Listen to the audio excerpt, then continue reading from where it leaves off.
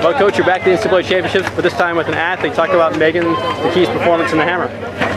Megan is finished 18th in the entire country, so I cannot be mad at that. I mean, you always get a little selfish. You always want a little bit more when you get here, but she did an amazing job. She she did everything she could. She fought. She did hard. She did everything I asked her to do, and so it's a it's a joint success here.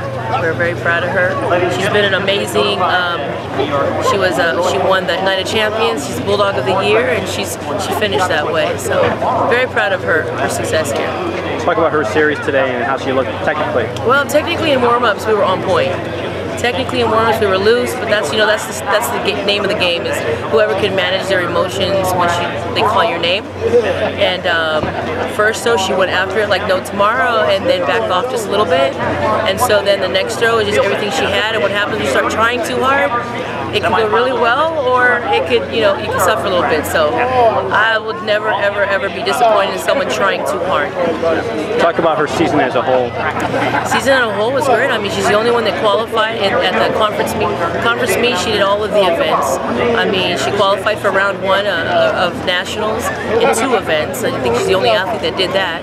And um, so, I mean, she's done a great job. I mean, she's she's held down an amazing GPA. She's been uh, she worked with SAC.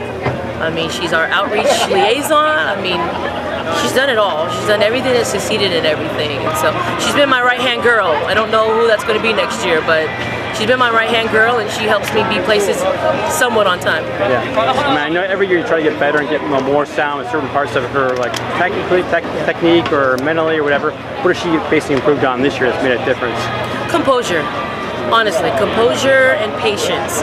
Uh, she's a freak athlete, and a lot of times when you're very strong and you're a freakish athlete, you got to learn how to tame yourself down. So this year she's really learned. It's kind of the the, the little mot, mot, motto or mantra, whatever, was slow and steady. So slow and steady was where she's always been her best. Sometimes though slow and steady we needed a little bit more. So when I asked her to do a little bit more, right, it just you know, sometimes it was great and sometimes a little bit off. But so she's she's definitely succeeded. We've learned a lot.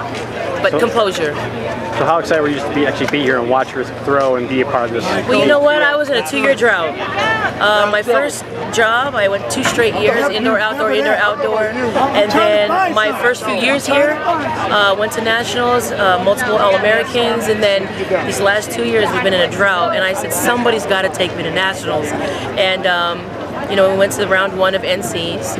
Uh, we had four bullets, and uh, three came a little short. And she said uh, on her last throw going in, she's like, "I'm going to take my coach to nationals." So, you know, I can't ask for anything more. I'm here, and uh, this this is the bonus. We wanted the cherry on top, but that's okay. I'll take the bonus.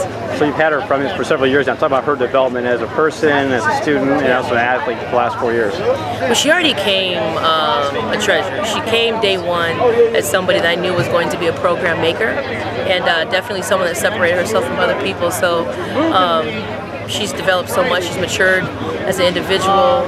I think uh, we've got a lot of firsts together, whether it's off the field or on the field. And uh, so it, has been a pleasure seeing her grow as a woman. And she's going to be make an amazing coach at San Jose State. And uh, she's going to go for 2016 Olympics. So it's not the end. Is just a, the end of this chapter. And where's she ranked right now in the U.S.? Uh, she, she, could tell you. Yeah. She whispers it in my ear right now. Yeah. um, she's top. Yeah. she's top in the United States of America. yeah, she's my stat girl. Yeah. I'm pretty much in the moment kind of person. Like right now, she's number one to me. Yeah. And uh, wherever she falls in the U.S., she falls. That's awesome. Well, congratulations. Great season for her, and also a great wrap up for her career. So good on Yeah. Awesome. Thank you. Go